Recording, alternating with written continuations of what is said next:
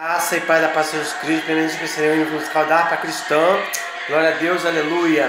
Aceito o perdão de Jesus. Agora não esqueça de curtir, comentar, se inscrever, compartilhar com seus amigos, dar um toque no sininho para receber nosso diário no canal no YouTube, professor psicólogo Carlos Alves.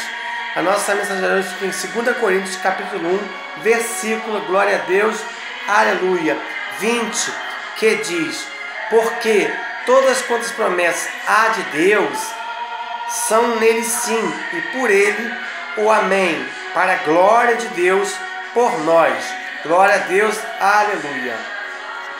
O Amém, aleluia, final da oração, aleluia, e da confissão do cristão, expressa a confiança no amor e na fidelidade com Deus e na certeza das suas promessas.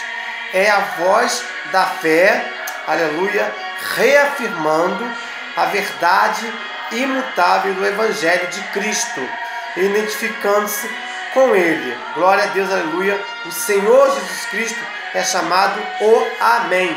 Então, que nesse dia você esteja preparado para dizer Amém. Seguir eis-me aqui. Maranata, a hora vem, Senhor Jesus. Senhor, nos fortaleça-nos na caminhada.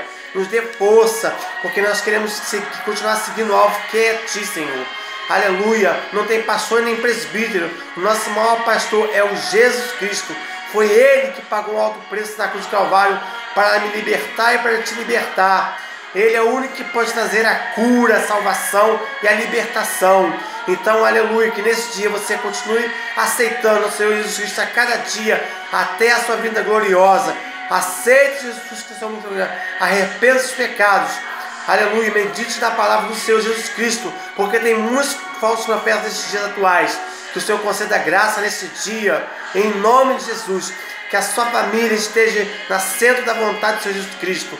Que haja cura e libertação, transformação e renovo.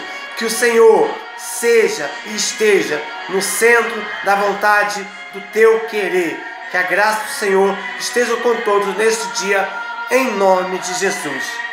Glória a Deus. Aleluia. Amém.